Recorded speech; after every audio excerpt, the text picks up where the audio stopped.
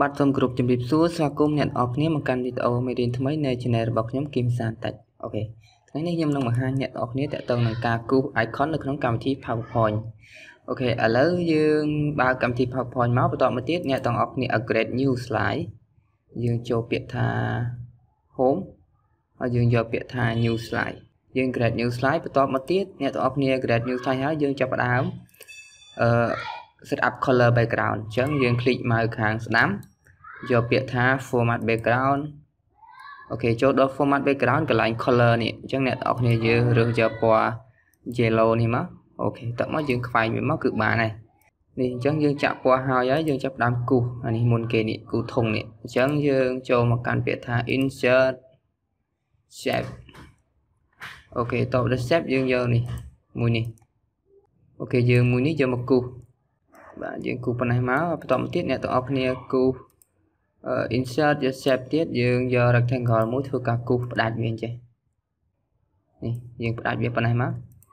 OK ហើយយើង click លើវាបន្តមកទៀតយើងចុច format merge shape ហើយយក OK យើងយក merge shape មកនេះនេះយើងយកពាក្យមួយនេះអ្នកទាំងអស់គ្នាយកពាក្យមួយនេះមក OK បន្តមកទៀតយើងលុបវាចោលមកនេះលុបទៅឲ្យផ្ដាច់ចេះ OK បន្តមកទៀតយើងចាប់ផ្ដើមគូសខ្មៅខ្មៅដៃនេះ OK យើងយកអឺ rectangle មួយធ្វើការគូសមកបាន OK តមកទៀតយើងដាក់លើ fill shape fill យើងយកអឺ black color OK តមកទៀតយើងយក black color ទៀត OK បន្តមកទៀតយើង copy control D លើវាយកមកដាក់លេខនេះ OK យើង control D ដាក់ចូលប្លោះនេះមក យើងយកប៉ុណ្ណឹងមកបានហើយបន្តមកទៀតយើងគូសគម្របខាងលើនេះអញ្ចឹងអ្នកទាំងអស់គ្នាចូលមកកាន់ពាក្យថា insert shape OK ចេះយើងយកដូចគ្នាដែរយើងយកមកគូសពីលើចឹងមកអូខេនេះយើងគូសប៉ុណ្ណឹងមកអូខេបន្តមកទៀតយើងបរួមវាយកប៉ុណ្ណេះឬក៏យើងពង្រីកវាធំតិចក៏បានដែរនេះយើងយកវាធំជាងនឹងដល់ក៏បានដែរទូជាងនឹងក៏បានដែរ ឥឡូវខ្ញុំយកប៉ុណ្ណឹងតមកទៀតយើងគូដៃខាងលើនេះអញ្ចឹងអ្នកទាំងអស់គ្នាចូលមកកាន់ insert ហើយយើងចាប់ផ្ដើមគូសតម្រងបែបនេះមួយមកយើង control D លើវាហើយយើង zoom វាប៉ុណ្ណេះអូខេយើងបរិយាវាបន្តិចមកតមកទៀតយើងคลิกលើវាទាំងអស់យើងយកពាក្យថា format merge shape អូខេយក merge shape យកតម្រងមួយនេះអូខេហើយយើងលុបប្លុកនេះចោលមកOK អញ្ចឹងវាចេញខ្មៅបែបនេះឃើញទេអញ្ចឹងយើងយក fill យើងយក black color ហើយយើង shape outline យើងយកពាក្យថា no តមកទៀតគឺបានទេ OK តមកទៀតយើង send to back ទៅក្រោយនេះ OK អញ្ចឹងយើង send to back វាទៅក្រោយអស់មកនេះអានេះដូចគ្នាដែរ យើង send to back វាទៅក្រោយគេតែនេះយើងវែងជាងតិចបាទនេះអញ្ចឹងយើងអាចសេរីមើលមកស្អាតខ្លួនឯងមក OK ឥឡូវខ្ញុំយកប៉ុណ្ណឹងបន្តមកទៀតយើងចាប់ដើមពណ៌សនេះចូលអញ្ចឹងអ្នកទាំងអស់គ្នាចូលមកកាន់កន្លែងនេះក៏បានដែរ OK ឥឡូវយើងមានស្រាប់ហើយនេះគឺសញ្ញាបូកយើងមានហើយហើយ OK នេះនេះយើងសញ្ញាបូកយើងនេះនេះ OK អញ្ចឹងយើងចុចស៊ីឲ្យជាប់មកយើងទាញមក អូខេហើយយើងចាក់វាទៅជា white color no outline តទៅទៀតនេះយើងដោះពណ៌បន្ទាត់ចេញ format set outline យកពាក្យថា no អានេះដូចគ្នាយក no ដែរអូខេតោះមកយើងចាប់ផ្ដើមចាក់ពណ៌នេះហើយដាក់ពណ៌ក្រហម fill យើងយកអូខេនេះ red color OK នេះយើងយកក្រហមដិត នេះនេះយកក្រហមដិតនេះ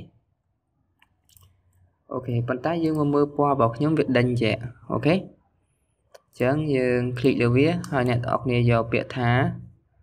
คลิก mouse ស្ដាំលើវាមកយកពាក្យថា format set អូខេចូលមកដល់ format set យកកន្លែង gradient អញ្ចឹងអ្នកទាំងអស់គ្នាចាប់ផ្ដើមចូលមកកន្លែង gradient នេះយើងសេរីចេះអូខេយើងคลิกលើមួយនេះហើយអ្នកទាំងអស់គ្នាយកពណ៌ក្រហមខ្ចីនេះមក អូខេកន្លែងនេះយើងយកក្រហមខ្ចីដូចគ្នាហើយប្លុកកណ្ដាលយើងយកពណ៌ក្រហមដែរតែយើងយកក្រហមចាស់ ពណ៌ឈាមជ្រូកណាអូខេតមកគឺវាចេញបែបនេះអញ្ចឹងរួចរាល់ហើយនេះទី1យើងបង្ខិតអានេះទៅលើតិចមកឲ្យវាស៊ីស្អាតអញ្ចឹងយើងคลิกលើវាមកយើង control G ចងជាគ្រប់មួយបានអូខេបន្តមកទៀតអឺយើងអាចគូយន្តហោះអូខេអញ្ចឹងយន្តហោះហ្នឹងដូចគ្នាដែរយើងចូលមកកាន់លេខនេះអូ OK បន្តមកទៀតអ្នកទាំងអស់គ្នាយករង្វង់មូលមួយទាញមក OK ទាញបែបនេះមកអាហ្នឹងគឺយើងយករង្វង់មូលទាញទៅយើងឆ្នៃណាបាទបន្ទាប់ពីបានប៉ុណ្ណឹងមកអ្នកទាំងអស់គ្នាចូលមកលេខនេះទៀតយើងយកអឺតម្រងបែបនេះនេះអ្នកទាំងអស់គ្នាយកតម្រងបែបនេះមកយកតម្រងបែបនេះយកមកគូសចេះអូខេគូចឹងយើងបង្វិលចេះ អូខេបន្ទាប់ពីបានប៉ុណ្ណឹងយើងកាត់វាមកយើងគូ rectangle មួយធ្វើការកាត់លើវាអញ្ចឹងអូខេយើងគូលើហ្នឹងហើយយើងកាត់លើវាយើង click ជាប់យើង format merge shape អញ្ចឹងយើងកាត់កតុយនេះចោលមកOK កន្ទុយហ្នឹងយើងអត់បោះចោលទេយើងមកទុកលេខនេះ OK បន្តមកទៀតអ្នកទាំងអស់គ្នាចាប់ផ្ដើមធ្វើការបង្ខិតអានេះទៅលើតិចមកនេះ OK តពីបានប៉ុណ្ណឹងយើង copy យើង control D យើងចុចពាក្យថា rotate ធ្វើការ rotate វាមកខាងក្រោមមួយទៀតមក OK តមកនេះអានេះយើងអាចធ្វើការពង្រីកវាបន្តិចមក OK យើងយកប៉ុណ្ណឹងមកនេះតពីបានប៉ុណ្ណឹងមកអ្នកទាំងអស់គ្នាធ្វើការកាត់ដូចគ្នាដែរនេះយើងកាត់កន្ទុយក្រោយនេះមកកាត់ចេញវាឡើយខ្ញុំសុំស៊ូមឲ្យទូចតិចនេះធំពេក OK យើងកាត់ចេញមក ចឹងអ្នកទាំងអស់គ្នាកាត់ចេញទៅនេះអូខេនេះคลิกទៅវាយើងយក format merge shape យើងកាត់យកទៅនេះមកអូខេយើងកាត់បានប៉ុណ្ណឹងហើយយើងបវិលវាដូចមិញដែរយើងចុចពាក្យថា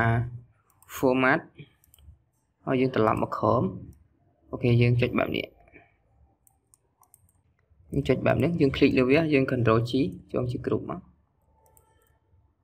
អូខេបន្ទាប់ពីហ្នឹងយើងចាប់ដើមសារ៉េមើលវាសារ៉េមើលវាអីទូជាងនឹងតិចមកអូខេយើងដាក់យកប៉ុណ្ណឹងមកអូខេតបានយើងคลิกលើវាទាំងអស់នេះយើង select លើវាទាំងអស់ហើយអ្នកនរគ្នាចូល format ឲ្យយក merge shape អញ្ចឹងយកតម្រងមួយនេះយកខាងលើហ្នឹងវាជាប់ជាគ្រប់ចេះអូខេហើយយើងចាក់ពណ៌សមកយក shape fill យក white color អូខេនេះយកពាក្យថា no outline អូខេតមកបាននេះតមកយើងចាប់ផ្ដើមគូរង្វង់មូលនេះអញ្ចឹងអ្នកទាំងអស់គ្នាយករង្វង់មូលមួយធ្វើការគូសបែបនេះមកអូខេយើង copy មួយមក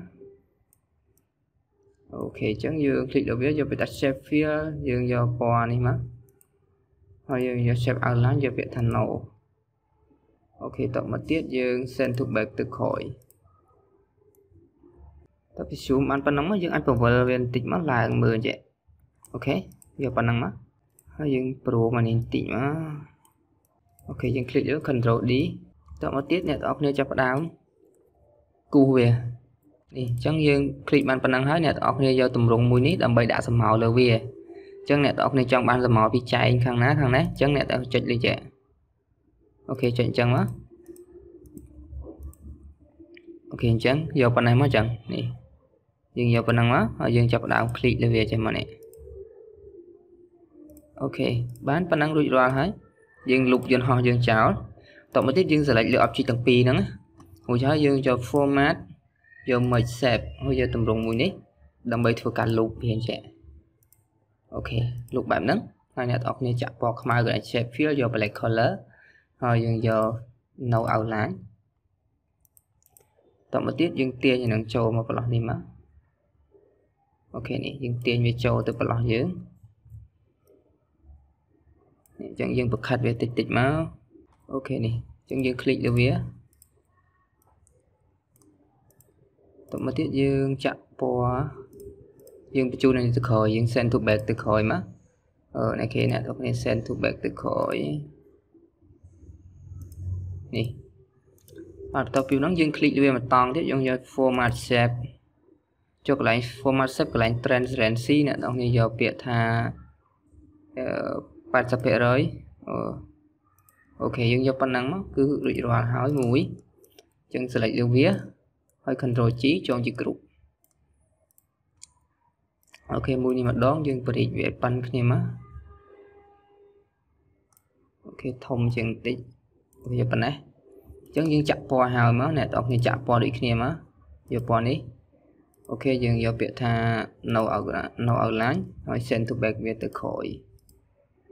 អូខេតមកទៀតយើងដាក់ចូលបន្លោះនេះឥឡូវខ្ញុំដាក់ចូលបន្លោះនេះអូខេអញ្ចឹងយើងបរិចវាតិចមកហើយយើង control D លើវាហើយអ្នកទាំងអស់គ្នាទាញមកដាក់បន្លោះនេះមួយអូខេបន្តមកទៀតអ្នកទាំងអស់គ្នាចាប់ដើមគូសស្មៅដូចមិញដែរនេះអញ្ចឹងយើងដាក់កន្លែងនេះមួយមកคลิกលេខនេះមួយមួយហើយយើងធ្វើអញ្ចឹង ភ្លេចអញ្ចឹងមកនេះអញ្ចឹងអ្នកនរគ្នាយកទៅមកបែប style បែបនេះក៏បានដែរពេលឥឡូវខ្ញុំដាក់ឡើងប៉ុណ្ណឹងចុះខ្ញុំយកប៉ុណ្ណឹងគឺរួចរាល់ហើយតទៅមកទៀតយើងលុបអាធុងនេះចោលហើយអ្នកនរគ្នា click លេខទាំងពីរយកពាក្យថា format merge shape ហើយយកតម្រង់មួយនេះអូខេហើយយើងលុបអានេះចោលមកបាទបន្ទាប់ពីលុបទៅវាយើងដាក់វាពណ៌ខ្មៅដូចមិញតែ shape fill black color step outline យកពាក្យថា node តោះមកទៀតយើងទាញវាដាក់នៅលើ object របស់យើងហើយនេះអញ្ចឹងខ្ញុំសូម click លើ object សិនខ្ញុំទាញវាមកនេះokay អញ្ចឹងយើងសារ៉េមើលមក object របស់យើងហ្នឹង okay ប៉ុណ្ណឹងបានហើយអ្នកទាំងអស់គ្នាចុចលើពណ៌ខ្មៅហ្នឹងហើយយើងយកពាក្យថា arrange ដើម្បី send to back វាទៅក្រោយបែបនេះ តមកទៀតអ្នកទាំងអស់គ្នាចុចលើម៉ៅខាងស្ដាំយកពាក្យថា format shape ដើម្បីធ្វើការយកវាពាក្យថា